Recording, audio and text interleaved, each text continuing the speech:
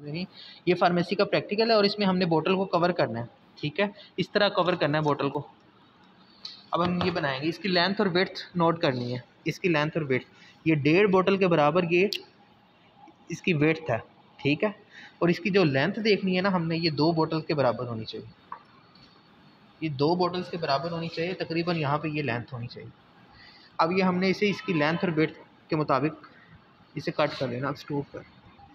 अच्छा ये हमने पीस जो है ना कट कर लिया है। इसकी जो वेथ है ना, ये वेथ था और ये लेंथ है। वेथ में देखें ये डेढ़ बोतल के बराबर है।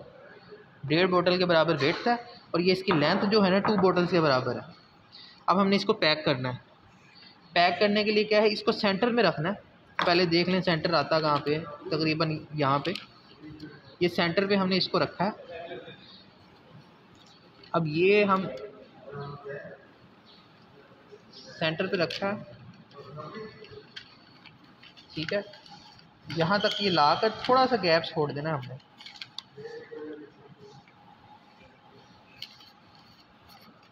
तो इसको फोल्ड कर लेना। स्टॉप कर कट बोतल को सेंटर में रख के पेज को फोल्ड इस तरह किया है कि ये जो फोल्ड ऊपर आया है, ये थोड़ा सा इसका साइज़ कम है, ताकि इसको हम कर्व कर सकें इस तरह। अब इसको एक कर दिया। इसको दूसरी कर्व भी देंगे। ये थोड़ा सा पेपर फट गया है। और हाल।